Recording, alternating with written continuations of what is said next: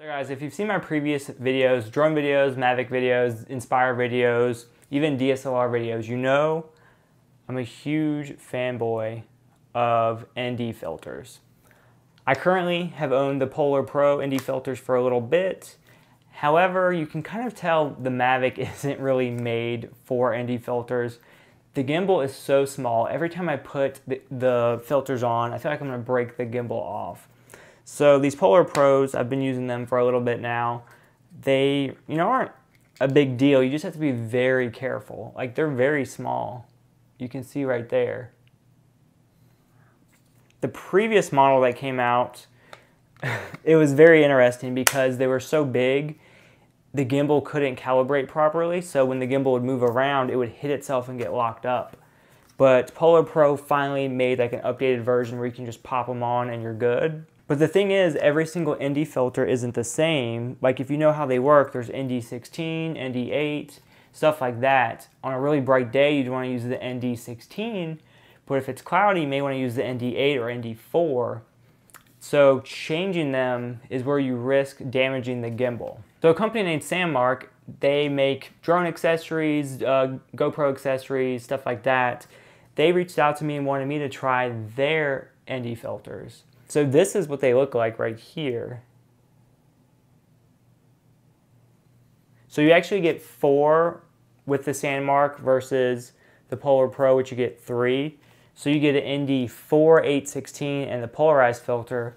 With this one, you just get the 816 and polarized. So the ND4 would be better like on morning, night, or a really, really cloudy day. The biggest difference from these filters isn't like image quality because for one, the Mavic doesn't have the best 4K camera, so we're not going to be pixel peeping these. To me, ND filters in the Mavic is all about ease of use. The filter that's easier to put on gets the win in my book. And where the Sandmarc filters really shine to me, it's easier to pop them on. So on the inside is just like a type of rubber seal, which this is gonna be really tiny, so I don't even know if you can see it like there's a little bit of rubber in there and that's kind of what catches on the Mavic. Like these, this is the Polar Pro and there's nothing in there. It's just plastic with like some grooves. And the reason why I like the Sandmarc, the rubber just kind of grips it. So when you push it on, you, it takes a little bit more effort to like push it on because you just kind of feel the resistance. But once, it, once it's up there, it's kind of up there. So the Polar Pro, it seems like putting it on is easier. But when you take it off, I feel like it takes a lot more effort. And taking the Polar Pros off is what I think could damage the gimbal if you're not careful. The Sandmarcs definitely slide off a lot easier just because the rubber is the only thing really keeping it up there. It's up there good enough to keep it gripped up there, but when you want to pull it off, it pulls off pretty easily. So guys, once again, these are the two sets of ND filters I was comparing today. Um, so which one should you buy? So the Polar Pros are going to be easier to find. You can even get these at Best Buy. It's $59.99 for the three. You can even get them from Amazon as well. The Sandmarcs, it's kind of more of a like specialty website. It's a smaller company, so you're not to be able to get these as easy. I will for sure put a link to the description below to their website to check them out. I really, really like them.